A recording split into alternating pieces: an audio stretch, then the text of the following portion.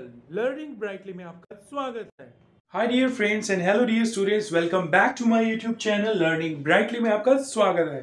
So dear friends and dear students in the last class we completed the simple past in passive voice जिसे हम past indefinite भी कहते हैं। तो चलिए आज स्टार्ट करते हैं future indefinite tense future indefinite tense So dear friends and dear students, when we change active sentence into passive sentence, passive voice, first of all, in active voice, subject, shall will, first form of the verb, an object. So while doing the passive voice, जब हम इसे passive voice में change करते हैं तो आपको object पहले लिखना है फिर आपको shall will लिखना है फिर आपको be लिखना है फिर verb की third form then by then subject जैसे आई शेल डू इट मैं इसे कर लूँगा। यह है active voice passive voice it object पहले आ गया आपका। It will be done by me next as you all know that I और वी के साथ शेल लगाते हैं, बाकी सबके साथ विल बट स्पीकिंग में ये अपडेट हो चुका है, सबके साथ विल लगाते हैं, लेकिन अभी हम रिटर्न में लिख रहे हैं तो आई और बी के साथ आपको शेल लगाना है, बाकी सबके साथ will so let start next active voice sir will teach us sir हमें पढ़ाएँगे.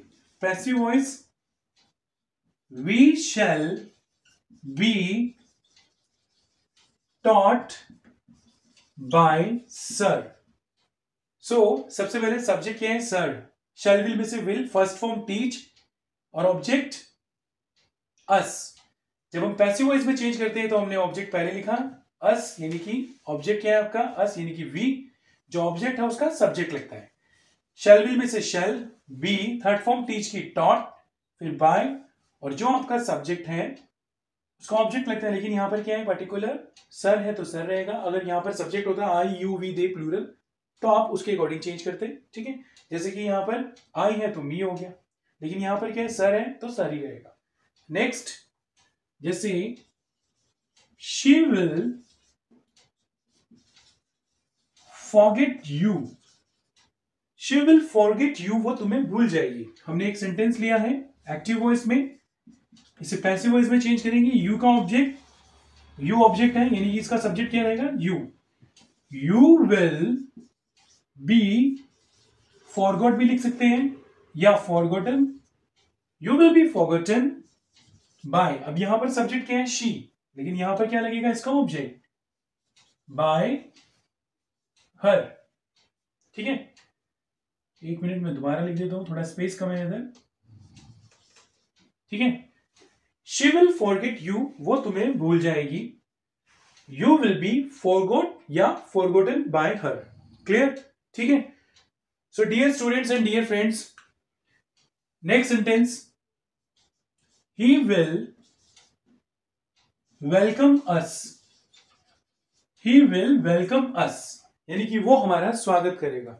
अस का क्या होगा? वी वी के साथ shall we shall be welcomed by him इसी प्रकार से आप बाकी सारे सेंटेंसेस बना सकते हैं, जैसे कि आई शेल ईट मैंगो में आम खाऊँगा। Mango will be eaten by me ठीक है? और I shall help him he will be help by me you will you will think positive positive will be thought by you and we shall invite them they will be invited by us so dear friends and dear students ये आपके simple sentences हैं। तो चलिए करते हैं negative sentences ठीक है?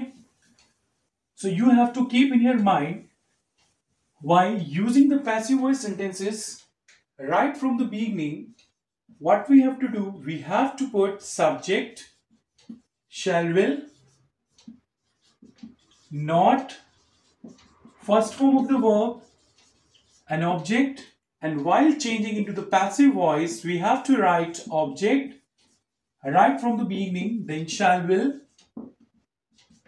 then will, kibar, not, then be, third form of the verb, then by subject. Clear? Like, I shall teach you. You तो सिंपल है बट इसे नेगेटिव में बनाना है। I shall not teach you मैं तुम्हें नहीं पढ़ाऊँगा। चलिए दोबारा लिख देते हैं इस सेंटेंस को। I shall not teach you ठीक है? ऑब्जेक्ट क्या है इसके अंदर? ऑब्जेक्ट है आपका यू यू का क्या रहेगा? You you will not be taught by me clear next active voice she will not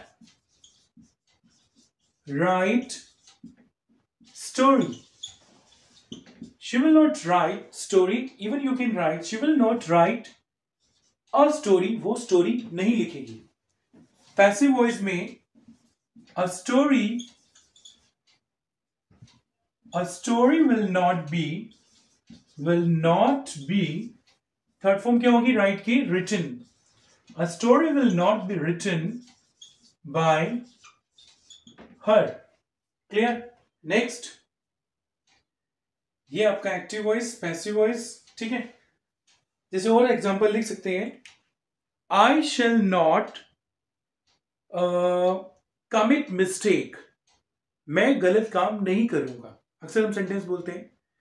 So mistake will not be committed by me ठीक है?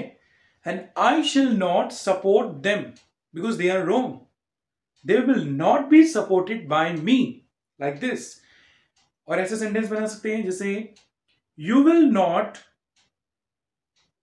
give up ठीक है? अब यहाँ पर क्या है कि ट्रांसिट ये in transit intransitive verb है। ट्रांसिटिव वर्ब के अंदर क्या होता है? प्रॉपर ऑब्जेक्ट होता है। जैसे you will not give up तो यहाँ पे कोई पर्टिकुलर ऑब्जेक्ट नहीं है। जब तक ऑब्जेक्ट नहीं होगा, तब तक आप उसको चेंज नहीं कर सकते ठीक है? So we will leave this जैसे कि मान लीजिए आपने और सेंटेंसेस बना रहे हैं, जैसे आप लिखेंगे I shall complete this project यहाँ पे आपका प्रॉपर ऑब्जेक्ट है। This project will be completed by me अगर नेगेटिव सेंटेंस है I shall not complete this project this project will not be completed by me ठीक है? तो ये हमने नेगेटिव सेंटेंसेस किए हैं तो चलिए इंटेरोगेटिव करते हैं। तो इंटेरोगेटिव सेंटेंसेस में आपको क्या करना है? While doing the interrogative sentences, you have to keep in your mind, right from the beginning, you have to put shall will सबसे पहले आपने शेल विल लिखना है then subject then first form of the verb at last object interrogative sign this is active voice in passive voice shall will be there shall will होगा. Then object then be third form of the verb by subject like like, will he help him? क्या वह उसकी मदद करेगा? इसमें ही subject और him object तो हम इसे कैसे लिखेंगे पैसिव वो इसमें? हिम का ही लेकिन यहाँ क्या है? इंटेरोगेटिव है तो शेल विल में से will will he be helped by him clear लेकिन अगर मान लीजिए मैं इसको थोड़ा सा चेंज कर देता हूँ विल शी हेल्प हिम क्या वो उसकी मदद करेगी? विल शी हेल्प हिम अब यहाँ पर ऑब्जेक्ट है हिम हिम के साथ will object he will he be help by अब शी का क्या हो जाएगा इधर? हर ठीक है? कई बार स्टूडेंट्स मिस्टेक कर देते हैं। तो आपको ये ध्यान रखना है, जो आपका सब्जेक्ट है, वो उसका ऑब्जेक्ट कन्वर्ट होगा और जो ऑब्जेक्ट है, उसका सब्जेक्ट लगेगा। दैट्स इट नेक्स्ट जैसे हु विल गाइड अस कौन हमें रास्ता दिखाएगा? यानी कि कौन हमें गाइड करेगा? मैंने आपको बताया था हु वाला सेंटेंस बाय हुम में चेंज होगा? बाय हुम शेल क्योंकि अस का क्या होगा? वी लगेगा। वी के साथ क्या आता है? शेल वी में से shall by whom shall we be guided हमें किसके द्वारा राह दिखाई जाएगी, मार्ग दिखाया जाएगा गाइड किया जाएगा। नेक्स्ट एक सेंटेंस और ले लेते हैं। हु विल पनिश हिम जैसे मान लो कोई गलती करता है तो उसे सजा कौन देगा? तो पैसिव वॉइस में क्या होगा? बाय हुम विल ही बी पनिश्ड उसे किसके द्वारा सजा दी जाएगी? ठीक है नेक्स्ट अब जैसे हुम विल यू डिस्टर्ब अक्सर ये सेंटेंस बोलते हैं, भाई, अब मैं जा रहा हूँ, किसको डिस्टर्ब करेगा? ठीक है? तो पैसिव वॉइस में, मैंने आपको बताया था हुम वाला हु में चेंज होता है तो who will be disturb by you ठीक है? एक एग्जांपल और ले लेते हैं। जैसे whom will she whom will she call वह किसे कॉल करेगी? पैसिव वॉइस में who will be who will be called by her.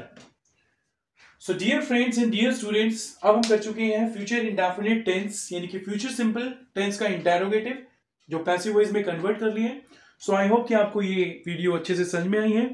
समझ में आई है तो प्लीज़ लाइक करें सब्सक्राइब करें और शेयर करें और ये सब जगह अपने फ्रेंड्स को बताएँ और वो भी सीख सकते हैं इससे। So thank you so much for listening to me attentively and carefully and have a nice day so dear friends and dear students इसे आप अपनी डे टू डे लाइफ में भी यूज़ कर सकते हैं। जैसे कि मान लीजिए आप कहोगे, मैं उसे बुलाऊँगा। I will call him so like this will be called by me I shall invite my friends my friends will be invited by me अब जब आपको अच्छे से आ जाएगा तो आपने बाय नहीं लगाना। यानी कि आपको इंपॉर्टेंस किसको देनी है?